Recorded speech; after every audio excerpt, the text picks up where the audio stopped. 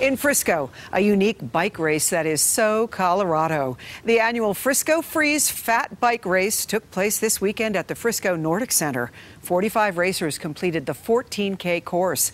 This race is the only time that fat bikes are allowed to ride on those trails.